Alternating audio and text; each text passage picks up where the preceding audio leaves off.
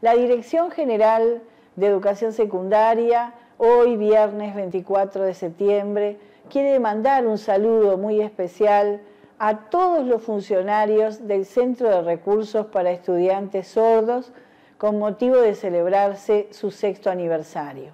Les quiero agradecer por el trabajo realizado y reafirmo mi compromiso con ustedes para continuar trabajando por una educación inclusiva y de calidad para todos los estudiantes sordos del país.